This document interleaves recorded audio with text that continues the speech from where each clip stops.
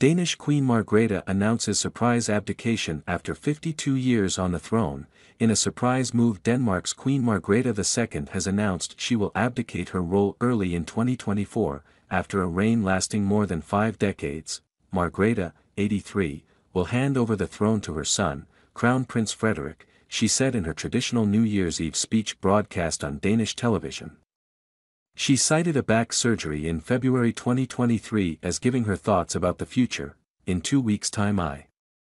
have been Queen of Denmark for 52 years, she said, such an amount will leave its mark on anybody, also